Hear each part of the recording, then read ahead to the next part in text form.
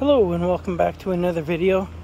Today I'm going to show you how you can change the look of your front lawn just by cutting it. Just the effect that you can do here. So this grass is ready to be cut and I'm going to show you uh, what to do to make it a nice effect.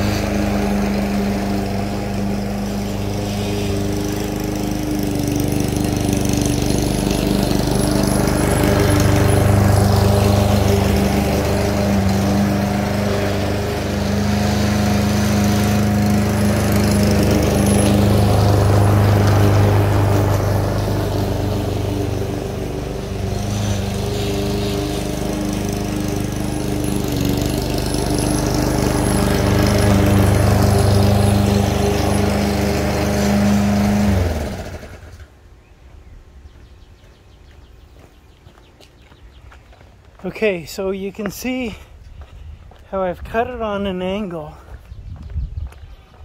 And this gives it a different look. Makes it look really nice. So every time you cut it, you're supposed to change the direction anyway. It's healthier for the lawn. So this effect a lot of people like. So it's something that you can try if you like. I've only done half of it just to give you a demonstration. So I hope this uh, information is helpful to you and thanks again for watching. Take care.